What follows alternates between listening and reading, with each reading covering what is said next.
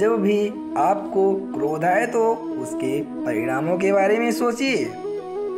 क्रोध हमेशा मूर्खता से शुरू होकर पश्चाताप पर समाप्त होता है। जब कोई आपके सामने गुस्से में बात करे तो उसे खामोशी के साथ गौर से सुनिए, क्योंकि गुस्से में इंसान अक्सर सच बोलता है। क्रोध में बोला हुआ एक कठोर शब्द इतना जहरीला हो सकता है कि आपकी हज़ार प्यारी बातों को एक मिनट में नष्ट कर सकता है। खोलते हुए पानी में जिस तरह प्रतिबिंब नहीं देखा जा सकता, उसी तरह क्रोध की स्थिति में सच को देखा नहीं जा सकता।